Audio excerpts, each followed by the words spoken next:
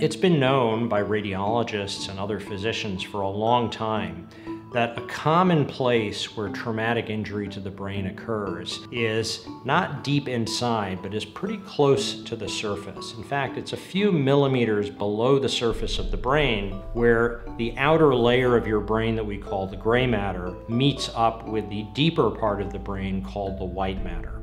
And because gray matter and white matter have a different composition, when they're subjected to a force, such as an impact to the head, the speed at which those tissues move differs, which means that the two tissues slide past each other to a very minor degree, and that creates a force that we call a shear force at that interface. That makes the interface between the gray matter and the white matter susceptible to injury. Which is the gray matter, and all the darker stuff is the white matter. In this study, we've specifically focused on trying to understand whether the interface between gray matter and white matter is altered.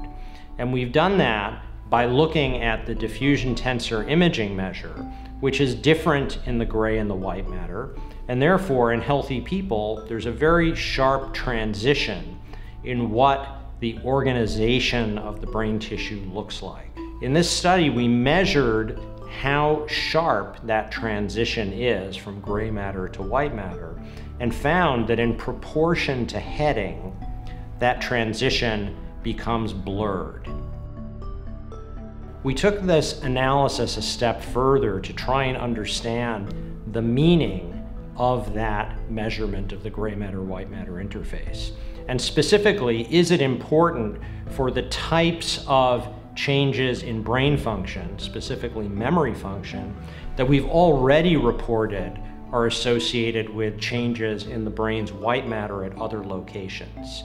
And this approach was able to show us that when we look at the number of head impacts on the one hand and memory function on the other hand, which are associated with each other, we were able to show statistically that this gray matter white matter interface measure explains that relationship.